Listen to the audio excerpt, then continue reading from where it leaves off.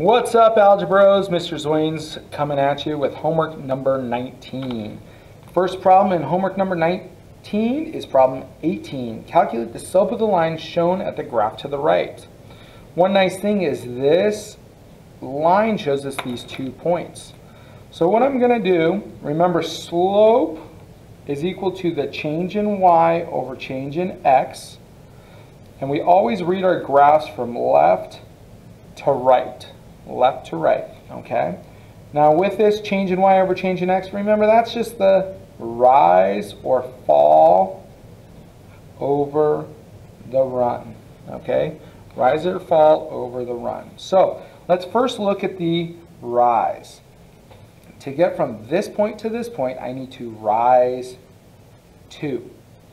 Okay, next up we're going to look at our um, run. So I run from negative 5 to positive, or sorry, negative 6 to positive 6. So that means I run 12. 2 over 12 reduces to 1 over 6. I rise 1, run 6. That would be the slope. Okay, next up, which equation below has no solution? Explain how you know.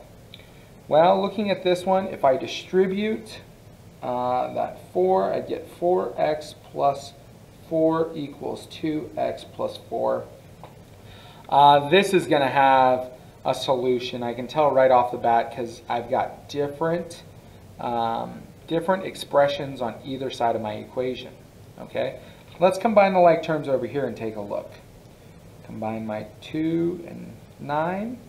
I get 11 minus 5x equals 4 minus 5x. Over here I see that I have both negative 5x, but I have 11 and 4.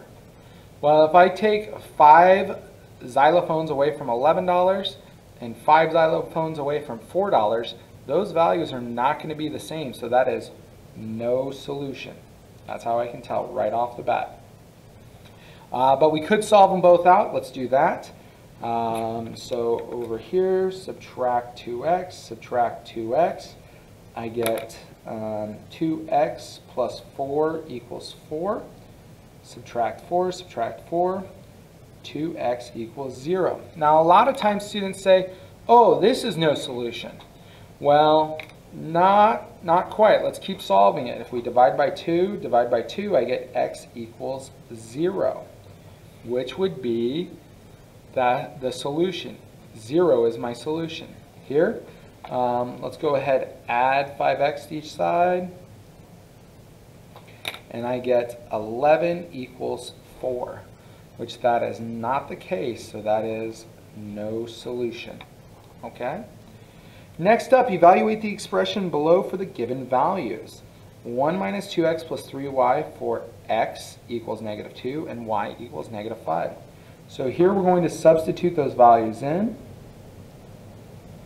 My x value of negative 2.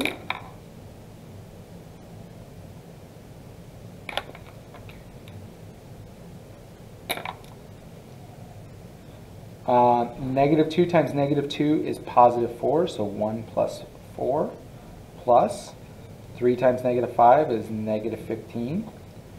1 plus 4 is 5 plus negative 15 is negative 10. Okay, next problem. 5 minus negative 1 minus 2 squared. Negative 1 minus 2 is negative 3. Negative 3 times negative 3 is positive 9. 5 minus 9 is negative 4. Okay, next up, I've got negative 5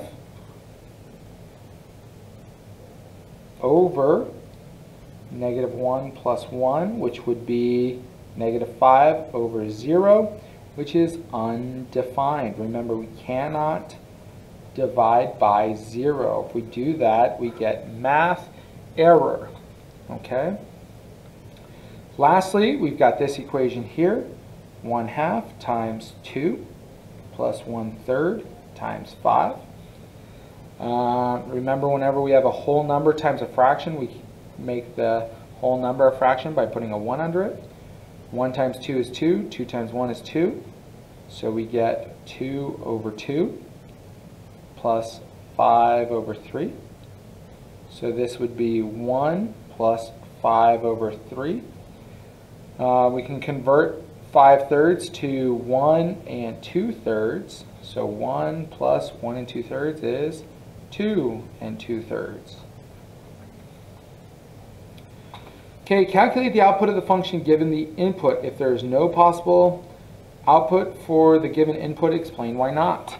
Well, if I input 1 here, uh, for my input of this function, I would have f of 1 equals 1 over 1 minus 1, or 1 over 0, which is undefined. Cannot have that in the domain because um, it is undefined. It does not give us an answer. If you plug it into the calculator, it'll say math error. Okay, and then you got to skip problem 22. Hope that's all right. If you're feeling up for it, you can solve it. Um, but yeah, no pressure. Um, as always, if you guys have questions, come see me in ninth period. Otherwise, um, I hope you're understanding this completely. And uh, Zwainz out.